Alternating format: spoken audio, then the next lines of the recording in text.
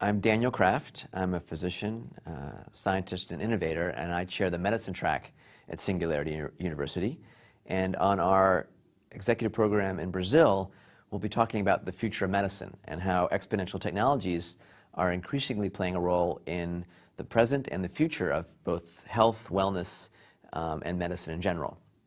It's only been 10 years since the first genome was sequenced at a cost of billions of dollars. We're now at the point where the cost of sequencing an individual's genes uh, is less than $5,000 and soon will probably be less than $100. That has lots of implications about understanding our own uh, physiology, our own genes, our own um, risks and profiles, and the ability to leverage that into healthcare, both for prevention and therapy.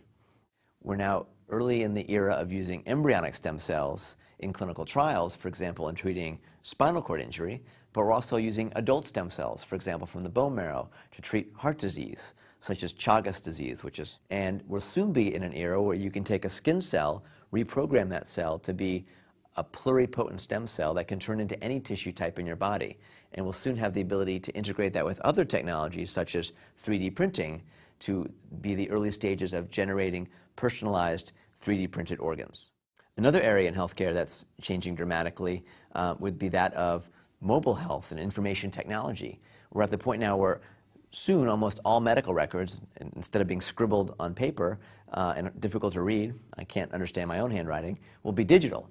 And digital health records or electronic health records will enable us to mine data from across massive data sets, to integrate genetic information, to integrate um, and translate that information to both individuals so they understand their own health, but also to clinicians so we can better um, diagnose and treat individuals, both for prevention and therapy. So there are now over 20,000 medical and health applications on mobile phones like the iPhone and the Android. This is one simple example. It uses the light source and camera to monitor my pulse in real time.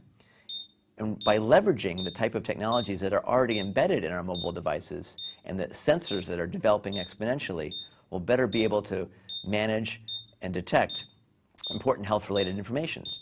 And soon, the mobile phone will essentially be the Star Trek tricorder of the future.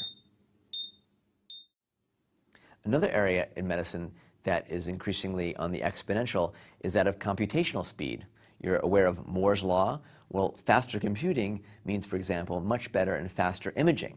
So we can now look inside the body in different ways, integrating technologies like CT scans, MRI scans, reconstruct that data, and use that to both you know, diagnose, track therapeutics, look inside the brain in, in real time, um, and soon uh, we'll be entering the integration of that with robotic surgery, the ability to take data and present that to a surgeon who's operating sometimes remotely from across the world, um, and to reconstruct and plan surgeries, for example, ahead of time. And you'll learn about the future of health and medicine.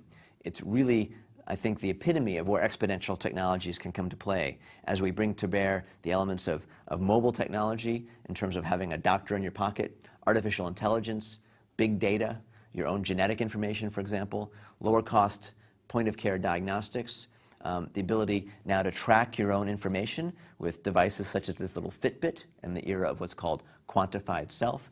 All those areas are converging quickly and on the exponential trend to really change the face of both wellness, prevention, healthcare, and advanced medical therapy.